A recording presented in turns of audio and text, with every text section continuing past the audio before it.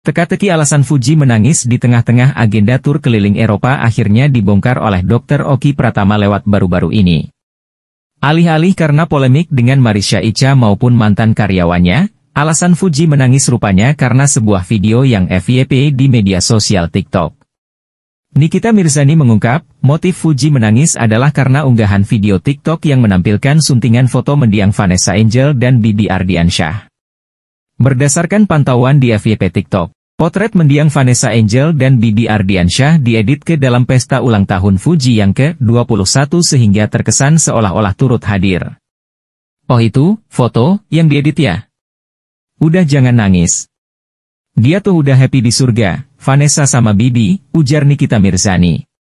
Selaras dengan Nikita Mirzani, Dr. Oki Pratama juga menenangkan sekaligus memberikan semangat untuk Fuji. Pasti ada pahal yang besar banget mereka sehingga waktu meninggal pun masih disayang orang, ucap Dr. Oki Pratama. Di samping memberikan semangat, Ibunda Laura Meizani tersebut juga mendoakan Fuji agar selalu bahagia kendati ditinggal wafat Vanessa Angel dan Bibi Ardiansyah. Sayang banget bulu matanya. Walaupun aku gak deket sama kamu, aku doain terus pokoknya Fuji happy, sambung Nikita Mirzani. Cuplikan unggahan video Fuji menangis sesungguhkan saat tur keliling Eropa ini viral di media sosial TikTok dengan atensi sebanyak 6,1 juta jumlah tayangan. Titip rindunya Uti, tulis akun TikTok Dr. Okai Pramaa, dilansir pada Senin, 13 November 2023. Perihal itu, sejumlah netizen turut memberikan respons dan komentar yang beragam. Kak Niki kalau soal keibuan jiwanya tinggi banget, tulis seorang netizen. Ikut mewek, kata netizen lain. Gue juga kalau di posisi dia, milih kagak ingin terkenal dan capek nyari duit. Mending kakak dan abangnya hidup dan mereka yang tetap jadi artis, tutur netizen yang lainnya. Belakangan, nama selebritas Nikita Mirzani menjadi perbincangan hangat publik. Penyebabnya, dia terang-terangan melabrak fans Fuji. Dia malah melakukannya di depan adik ipar mendiang Vanessa Angel tersebut. Nikita Mirzani juga belak-belakan menyebut bahwa fans Fuji cukup mengganggunya. Namun beda dengan sebelumnya, kali ini Nikita Mirzani juga menjadi sorotan lagi ketika liburan. Bareng Fuji. Ia disorot karena tertangkap sedang menenangkan Fuji yang sedang menangis.